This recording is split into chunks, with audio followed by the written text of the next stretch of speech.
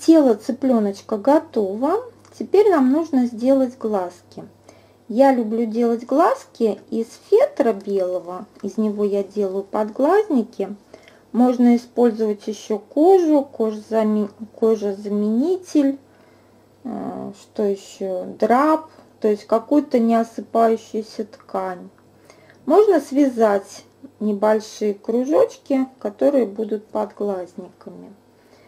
И зрачками я люблю делать бусинки. Они могут быть пластиковыми, могут быть стеклянными и бывают разного размера. Если бусинок нету, то зрачок можно вышить или тоже связать из тоненькой черной нитки тоненьким крючком. Можно использовать готовые глазки, если они у вас есть.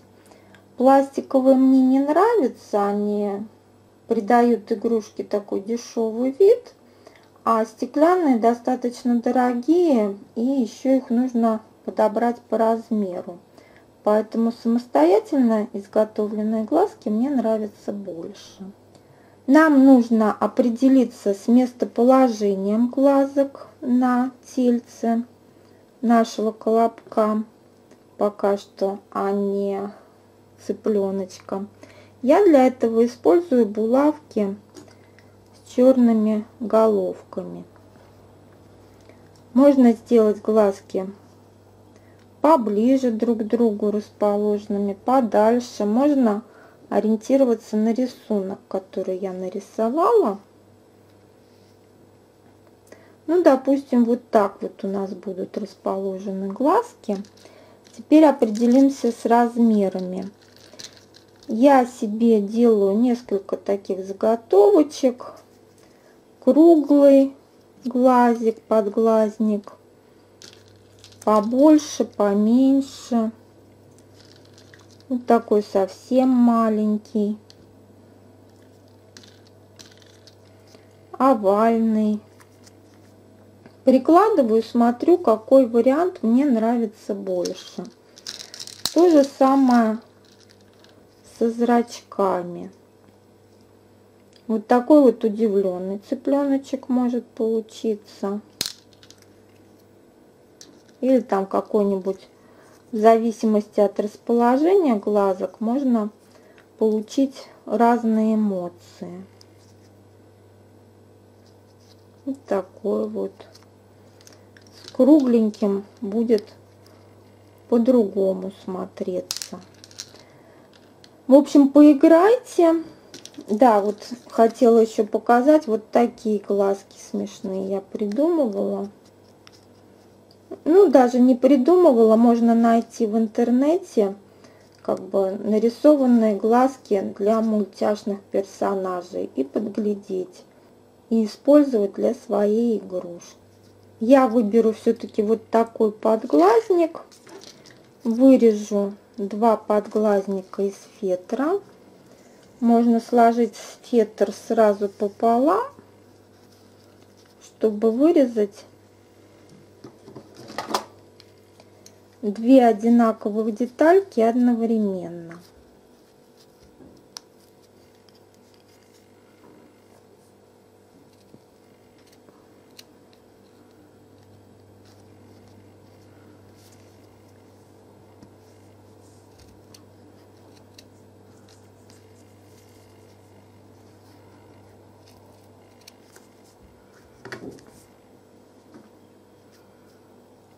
Прикладываем, если кажется, что слишком большие, то немножко уменьшаем, но я оставляю такими. Дальше я беру длинную иголку. Нитку лучше брать черной, чтобы она не видна была на зрачке. А длинную иголку я беру, потому что хочу сделать небольшую утяжку, чтобы у нас глазки утопали, были как бы глазницы. И утяжку я буду делать, вкалывая крючок, ой, вкалывая иголочку в место, где потом будут пришиваться лапки, чтобы эта утяжка была незаметна. ну, месту вкалывания иголки. Вкалываю снизу, вывожу иголку там, где у меня будет глазик. Потом делаю совсем небольшой стежочек и вывожу опять вниз. И затягиваю. Формирую падинку. Можно закрепить, чтобы у нас не распускалось то, что мы уже сделали за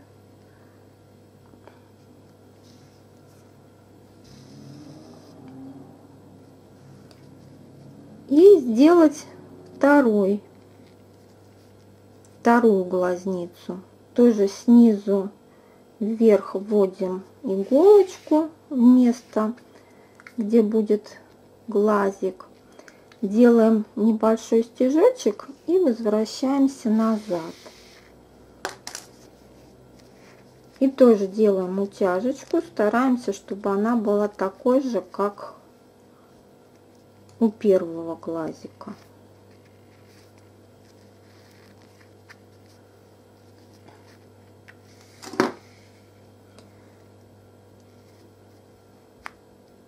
закрепляем результат. И не обрезая нитку, сразу же я буду пришивать глазик.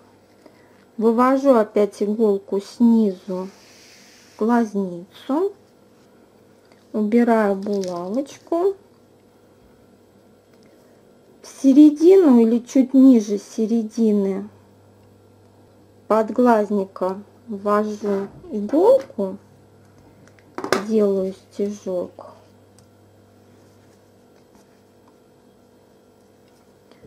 Потом беру бусинку, которая у меня будет зрачком. Все-таки возьму поменьше. У меня вот это в 6 миллиметров, а вот это вот бусинка 4 миллиметра.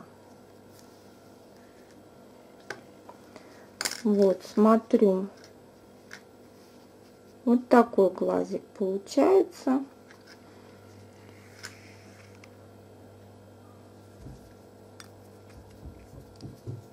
Где-то на ширину бусинки вниз опускаю, делаю стежок, выводя иголочку опять вниз. Вот, и расправляю, поправляю, чтобы глазик сидел так, как мне хочется. Первый глазик готов, второй делается точно так же. Выводим иголку вверх, где-то в серединку подглазника.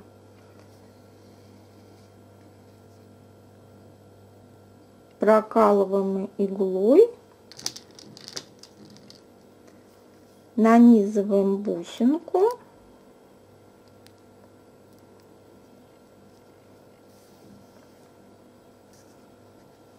убираем булавочку, которая у нас обозначала, где находится глаз. Располагаем так, как должен глазик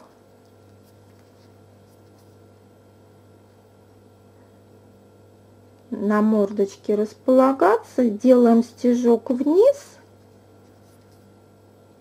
где-то на ширину бусинки и выводим иголку там где у нас будут лапки. Вот второй глазик готов тоже его немножечко утягиваем поправляем если нужно. Вот такие вот глазки. Закрепляем нитку и обрезаем ее